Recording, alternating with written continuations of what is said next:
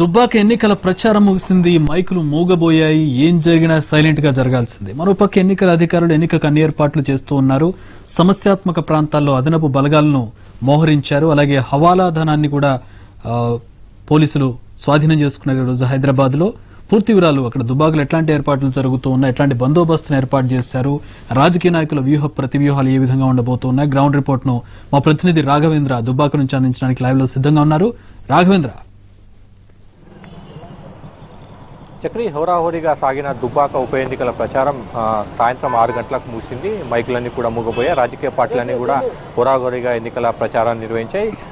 ఎన్నికల కోడ్ అమల్లోకి రావడంతో ఆరు గంటల నుంచి కూడా ఇక ఎన్నికల ప్రచారం నిర్వహించే వీల్లేదు. ఇప్పటికే అదనపు బలగాలని కూడా దుబ్బాక నియోజకవర్గం అంతా కూడా మోహరించినాయి. ప్రస్తుతం మనం దుబ్బాక నియోజకవర్గ కేంద్రంలో ఉన్నాం.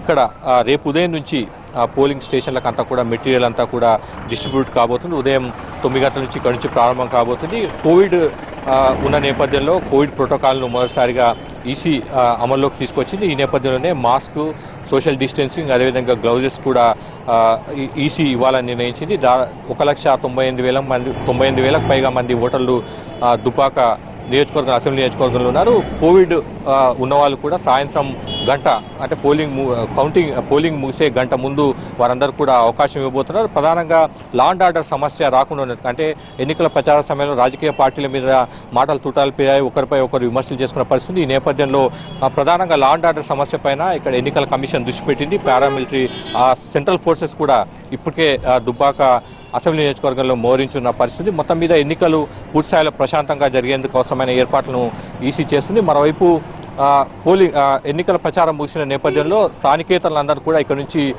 వెళ్ళిపోవాలని కూడా ఇప్పటికే ఈసీ ప్రకటన చేసి నేపథ్యం నేపథ్యంలో రాజకీయ నాయకులంతా కూడా వారి ప్రాంతాలకంతా కూడా వెళ్ళిపోయారు. వన్ ఫార్టీ ఫోర్ సెక్షన్ కూడా ప్రస్తుతం అమల్లో ఉంది.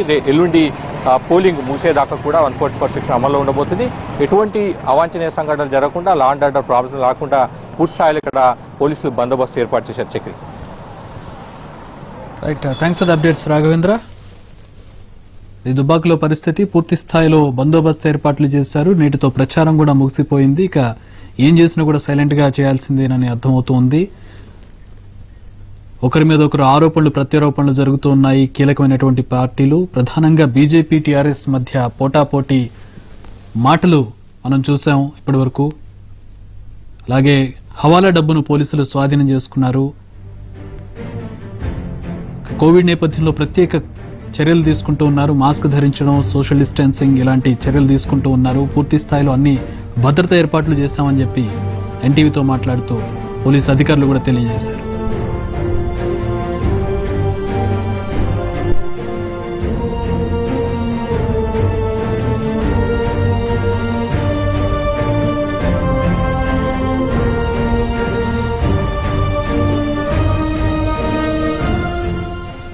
అండ్ దుబాక ఎలక్షన్కి సంబంధించి minute to minute update NTV మీకు అందించబోతోంది.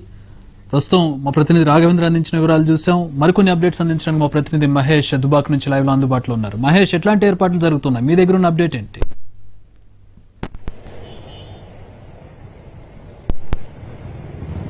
ఆ చక్రి ఏదైతే ఈ రోజుతో దుబ్బాక సంబంధించినటువంటి ఉప ఎన్నికకు సంబంధించిన ప్రచారం ముగిసింది. రేపు మొత్తం కూడా ఎన్నికలకు సంబంధించినటువంటి అధికారులు ఈ పోలింగ్ బ్యాలెట్ బాక్సెస్ అవుతున్నాయి వాటిని అన్నింటిని కూడా పోలింగ్ కేంద్రాలకు డిస్ట్రిబ్యూషన్ చేసేటువంటి పరిస్థితి. అంతేగా అంతేకాకుండా సిబ్బందిని కూడా ఎక్కడైతే దుబ్బాక నియోజకవర్గ పరిధిలో ఉన్నటువంటి అన్ని పోలింగ్ స్టేషన్లకు కూడా రేపు వె- వెళ్తారు. అయితే ఈ ఏదైతే దుబ్బాక సంబంధించినటువంటి విషయంలో అన్ని ప్రధాన పార్టీలు ప్రతిష్టాత్మకంగా తీసుకున్నటువంటి ప- పరిస్థితి హోరాహోరీగా ప్రచారం కూడా చేసినటువంటి నేపథ్యం.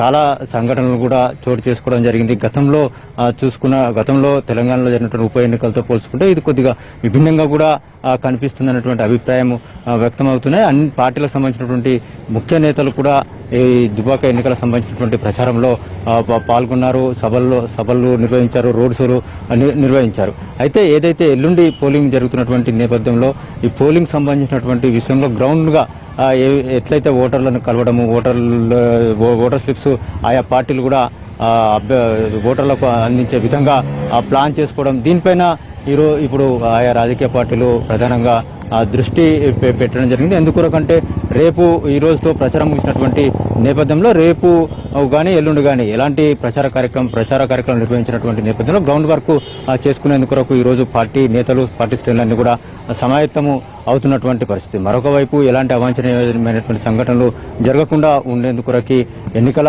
సంఘం పకడ్బందీ ఏర్పాట్లు కూడా చేయడం జరిగింది. పారామిలిటరీ బలగాలను కూడా ఇక్కడ దించడం దించడం జరిగింది. సమస్యాత్మకమైనటువంటి పోలింగ్ స్టేషన్ల విషయంలో కూడా ప్రత్యేకమైనటువంటి దృష్టిని కూడా పెట్టడం జరిగింది. కేంద్ర ఎన్నికల సంఘం నుంచి కూడా అబ్జర్వర్లు రావ- రావడం జరిగింది. సరే పోలీస్ అబ్జర్వర్ని కూడా ఈ దుబ్బాక ఎన్నికల నేపథ్యంలో కేంద్ర ఎన్నికల సంఘం నియ- నియమించడం జరిగింది. ఎక్కడ కూడా ఎలాంటి అవనించనీయమైనటువంటి సంఘటనలు జరగకుండా ప్రజాస్వామ్యయుతంగా free- free and fair election జరిగే విధంగా ఏర్పాట్లని ఎన్నికల సంఘం చేస్తున్నటువంటి పరిస్థితి.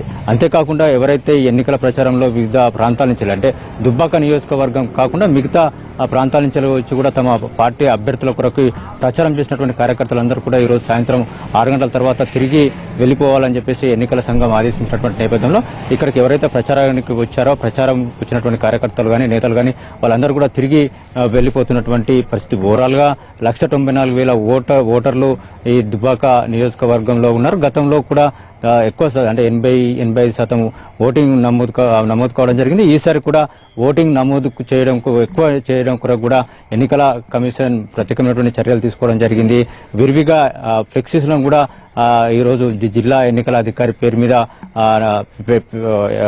కూడలలో ప్రధాన కూడలలో కానీ రోడ్లకు సంబంధించినటువంటి ప్రధాన మార్గాల్లో కూడా ఏర్పాటు చేయడం జరిగింది. ఓటు హక్కును వినియోగించుకోవాలని చెప్పేసి కూడా వారిని కోరడం జరిగింది. అంటే ఓటు పర్సంటేజ్ను కూడా పెంచేందుకు కూడా ప్రయత్నాలు ఎన్నికల సంఘం నుంచి వెళ్ళి జరిగిందని చెప్పొచ్చు. అయితే ఎల్లుండి ఉదయం ఏడు గంటల నుంచి వెళ్ళి సాయంత్రం ఆరు గంటల వరకు పోలింగ్ జరిగినది. కోవిడ్ నేపథ్యంలో కొన్ని ప్రత్యేకమైనటువంటి చర్యలు కూడా ఈసారి ఎన్నికల సంఘం తీసుకున్నది. ఎవరైతే ఎనభై సంవత్సరాలు పైబడినటువంటి వృద్ధులు ఉన్నారో వాళ్ళకి ఇంటి దగ్గరికే వెళ్ళి వారి ఓటుని తీసుకున్నటువంటి పరిస్థితి. దుబ్బాక కూడా ఎవరైతే ఏజ్ పైబడి ఉన్నారో వాళ్ళ యొక్క ఓటర్ ఓట్లను కూడా ఇంటికెళ్ళి ఎన్నికల సిబ్బంది తీసుకోవడం జరిగింది. అదే అదే విధంగా ఎవరైతే కోవిడ్ బారిన పడి ఉన్నారో వాళ్ళకు కూడా ప్రత్యేకమైనటువంటి ఏర్పాట్లు చేసుకోవడం జరిగింది. చేయడం జరిగింది. అంతేకాకుండా ఒకవేళ ఇప్పటికే ఎవరికైతే కోవిడ్ బారిన పడి రానటువంటి వాళ్ళు ఉన్నారో వాళ్ళ దగ్గర నుంచి కూడా ఓటు తీసుకోవడం జరిగింది. అదేవిధంగా ఎవరైతే ఇంకా కూడా ఓటు వేయనటువంటి వ్యక్తులు ఉన్నట్లయితే వారికి కోవిడ్ సంబంధించినటువంటి రక్షణ ఆ పరికరాలు ఏవైతే డ్రెస్ ఉన్నాయో వాటికి సంబంధించినటువంటి ఏర్పాటు వాళ్ళకి ఇచ్చి కోవిడ్ సంబంధించినటువంటి రక్షణ కిట్స్ ఇవి ఇచ్చి వారి వారితో ఓటు వేయించేందుకు కూడా ఏర్పాట్లు ఎన్నికల సంఘం చేయడం జరిగింది. ఈ ఈ కోవిడ్ నేపథ్యంలో ఎలాంటి ఇబ్బందులు జరగకుండా కూడా అన్ని రకాలైనటువంటి ఏర్పాట్లు చేయడం జరిగింది. ఎక్కువ సమయం అంటే ఒక గంట సమయాన్ని కూడా ఆ కోవిడ్ నిబంధనల నేపథ్యంలో పొడిగించి ఎన్నికల సంఘం పొడిగించడం జరిగింది. Chakri thanks for updates Mahesh